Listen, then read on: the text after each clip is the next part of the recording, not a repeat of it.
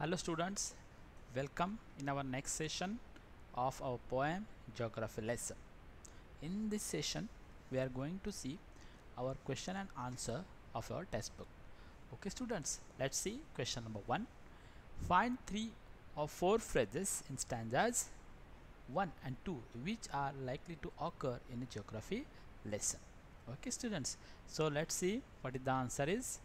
Uh, here look at that find three or four phrases in stanzas 1 and 2 which are likely to occur in a geography lesson. And these are like uh, scale 6 inches to the mile valleys were populated and land and water attracted man. Land and water attracted man. So these are the phrases are actually occur in a geography lesson. Okay? Uh, look at that question number two. Seen from the window of an aeroplane the city appears. When you look out of the window of aeroplane the city appears to the poet like as haphazard as on ground as neat as map as developed as necessary. Okay and you have to mark the right answer. So the right answer is as haphazard as on ground.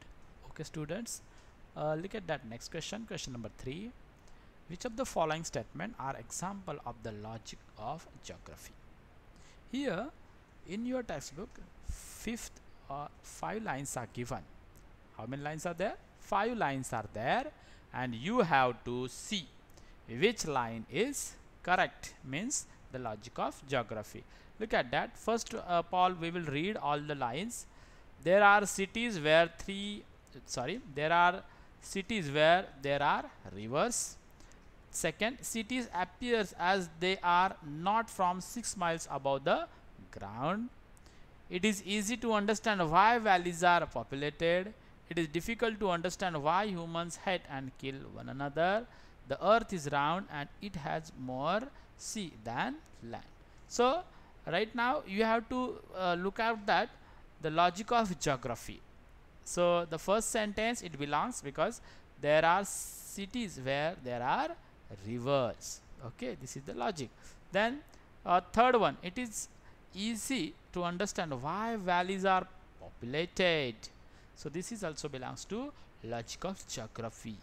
And the fourth one it is difficult to understand why humans hate and kill one another okay students so look at that uh, next question. Mention two things that are clear from height and not clear from height. So the two things that clear from height are the earth is round and it has more sea than land. Okay. And uh, not clear from height. Why men hate each other and why build walls across the cities.